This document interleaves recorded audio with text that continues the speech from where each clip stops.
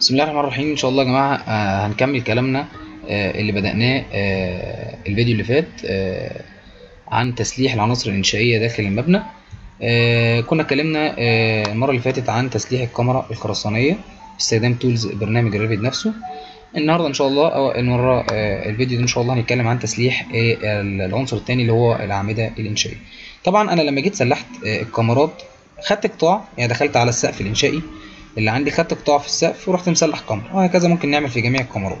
طب أنا يا باشمهندس عشان أسلح العمدان لازم آخد قطاع. طب القطاع ده اللي هو يعتبر level فأنا ممكن إن أنا آجي أقول إن أنا أروح للواجهة وليكن ال East ماشي؟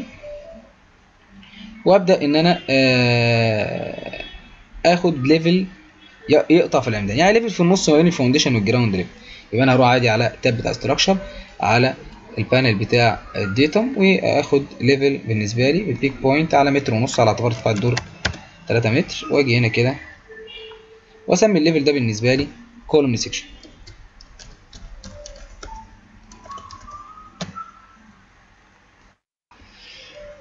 okay. تمام. وأبدأ إن أنا أخش على آه ال column section ده. نزل لي هنا أهو. سي أنا عايز اسلح العمود ده. هاجي أشاور على العمود. نفس الكلام يا جماعة. هنقول rebar. كل دي ال tools بتاعت البرنامج. أنا عايز دلوقتي parallel to work plane عشان أحط الكنات نفس الكلام يا شباب قلنا قلناه قبل كده. وبالنسبة لي اتحكم ب space بشكل القفله وخلاص استقريت على ده. okay. أنا عايز إن ال cover كله هنا 2.5 سم 2.5 سم ال cover بتاع العمدان طب أعمل إيه يا باشمهندس؟ أجي هنا اشاور كده. تمام؟ أقول له والله إن ال cover بتاعي أنا أقول أنا عايز ال cover اللي عندي أو في في cover هنا اللي هو 2.5 سم اللي هو مسميه point 03 أو ممكن أقول له duplicate هسمي ده column cover عم. بكام يا عم؟ ب 0.025 اللي هو 2.5 سم okay. أقول له والله ده أنا عايز بقى هل أنا عايز من face و face لا أنا عايز ال element كله. فين ال element اهو ال element طب ال cover كام؟ بتاع ال column إيه؟ cover تمام هو ظبط لي ال cover بتاعي. على هذا الأساس. طيب. آه بالنسبة للكمرة بنبدأ إن إحنا نقول له لي في 3D عشان نشوفها. دي أول حاجة. تاني حاجة بالنسبة لل rebar set نفس الكلام.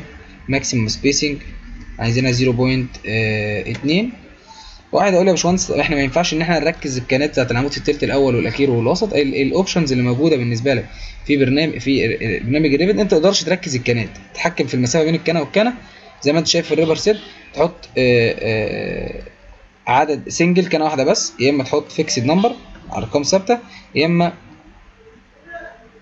maximum spacing يا إما بتحط أعداد بمسافات إيه معينة متحدده إنما كون إن أنا أتحكم في ال ال إن أنا أركز في التلت الأول زي ما الكود بيقول ده ما بنقدرش نعمله إلا بال extension وده إن شاء الله في حلقة قادمة هنتكلم فيه بإذن الله آه سريعا. يبقى أنا اتحكمت عن طريق حاجة زي كده وقال لي أنت الكمية هتبقى 16 كان عندك لو سريعا بصينا عليها في 3D view هنجد فعلا إن إحنا عملنا الكانات بالمنظر ده. نرجع تاني ل column section عايزين نعمل هنا rebar وعايزين بقى نحط حديد تسليح رأسي بس هيكون ده perpendicular to cover وهنيجي هنا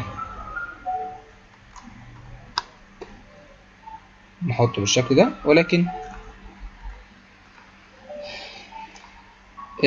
السيخ ده sorry control Z السيخ ده بالنسبة لي هيبقى وليكن 6 phi 16 يا جماعة مثلا في العمود. 16 T زي ما اتفقنا قبل كده.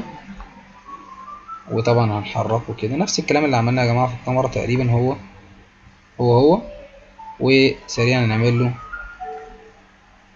mirror قبل بس هنعمل له mirror إحنا هنختاره من في في نستعرضه في 3D عشان اللي جاي كله اللي تعمله نسخ تعمله نفس نسخ بنفس الخصائص زي ما إحنا عارفين والاتنين ونشاور ب control على السيخ التاني ونعمل mirror برضو من هنا ونستغل إن ناخد copy من هنا نوديه في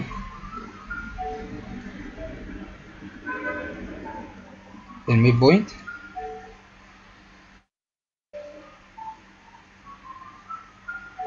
بالشكل ده. تقريبا إحنا كده خلصنا تسليح العمود نستعرض كده يا جماعة. هنجد زي ما حضراتكم شايفين تسليح العمود بالنسبة لنا. لو أنت يا باشمهندس عايز تكثف الكانات شوية ممكن نخليها point 15 اللي هي 150 آه، مللي اللي هي 15 سنتي ما بين الكانة والكانة. والتسليح زي ما حضراتكم شايفين تسليح الكمرة. كانت الكمرة بتقف عند وش العمود. تسليح العمود كانت العمود هي اللي بتخش برنامج ال Revit برنامج آه، فاهم حاجة زي كده. بكده نكون انتهينا من تسليح العنصر التاني إنشائي اللي هو العمود باستخدام ال tools بتاعت برنامج الريفت السلام عليكم ورحمة الله وبركاته.